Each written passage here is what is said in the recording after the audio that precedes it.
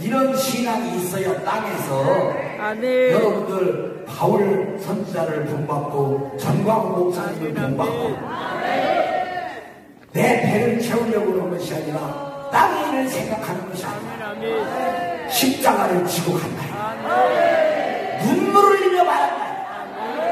그분은 다시 오셔서 만물을 자기에게 복종시킨다. 언젠가 주님 심판으로 오셔서 다 다스린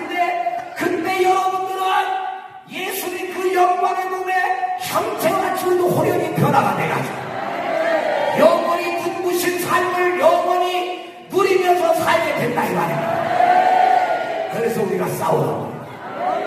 그런데 한국 기독교 장로에 그거 하나만 띄워줘봐요. 야 그런데 목사들이 이 짓을 하고 있어 지금. 자, 목사들 보세요.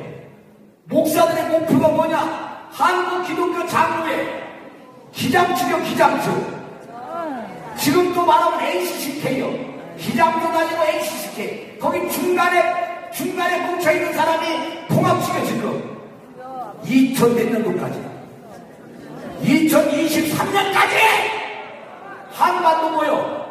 총전선을 이끌어야 하네 목사들 2023년도까지!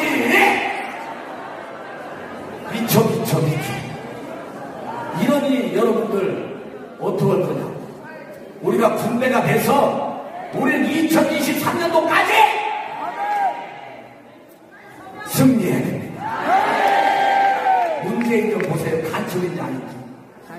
북한 정부를 건립한 4명까지. 아까 4명. 그 앞에 고지 그거 한번 띄워봐 문재인 정부에서요 독립유공자 기준을 바꿨어요. 친북 4명에게 소원을 줬다. 이 친북 4명은 그 밑에도 내려봐 봐. 크게 거기 아니 그 밑에 거기 거기 거기. 뭐요 정부수리 거기 정부수리 거기 4명. 거기 거기 있잖아 아 위에 위에 위에 적어놓은 것이 거기 거기 있잖아 거기.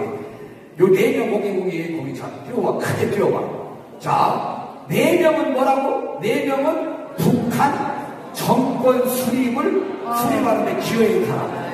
요거를 문재인 간첩 새끼가 요 사람들을 대한민국 유공자라고 서운했다 이거예요. 북한 정부를 수립하는데 대한민국 다 끝났어요. 이런데 여러분들 목사님들이 여기서 헛설교고 뭐하냐고. 이런 얘기 강단에서 하는 게 현재 말씀대로 이루어지는 거 아닙니까? 이게 정말 성경 분야를 풀이해 주는 거란 말이에요 설명을. 이 땅에서 일어난 것들을. 전혀 몰라 전혀 몰라. 열 받아 열 받아. 양손 높이는 거. 오늘 여러분들 정말 이 끔찍한 그런 상황에서 내배 태우는